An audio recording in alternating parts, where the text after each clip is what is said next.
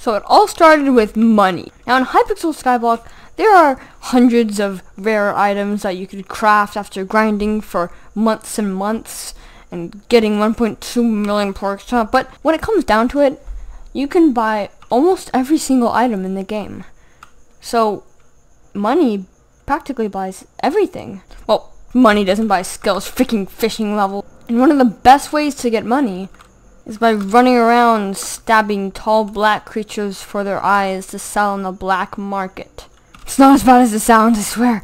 But in order to efficiently stab tall black creatures, I need damage. And actually, I already have that covered, so we're not even going to go into that. But after hours of tedious grinding from my combat level and my Enderman minion, wait, hold on, wait, let me just, let me just flex with my rare Enderman minion. I'm so cool. I finally got 13,000 damage per hit, which is, it's by the way, enough to kill a zealot in one hit. So I was like, okay, cool. I can one-shot zealots.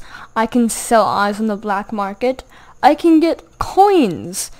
But here's one problem. These days, getting actual zealot kills are much harder than before, since there's speed 500 tryhards everywhere you freaking look. What? What? So, I wanted coins, I needed speed. And how do you get speed? Well, you could just grind talismans and other stuff and fairy souls and but I'm not about to do that. Plus it doesn't even give you a lot of speed. I'm going to use farmer boots.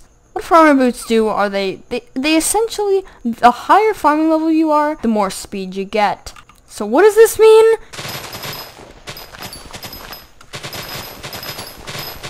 Ta! I'm just kidding. I wouldn't do that for three hours trying to get XP. Alright, fine, I did it for three hours. But look, I needed this speed. What else was I going to do? Build a giant pumpkin farm? So I built a giant pumpkin farm. You really thought I was going to end the video like that? So I needed to start grinding fast.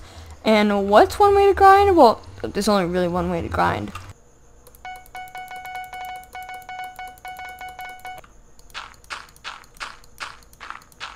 So, after about, what, I'd say about 6 hours of placing dirt, I finally placed 26,000 dirt to span across my whole island. Now I just needed to use my magical water bucket, which places infinite water, by the way, and I just needed to place all the water. I just needed to place all the water. Doesn't take that long. Right, so one hour later, finally had all the water done, and now I had to buy all the sea lanterns.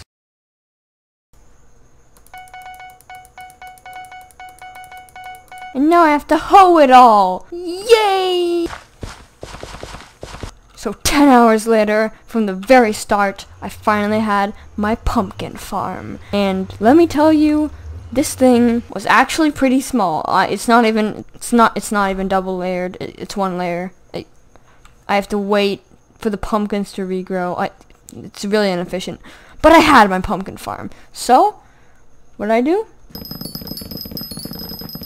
And that's the story of how I got plus 2% speed.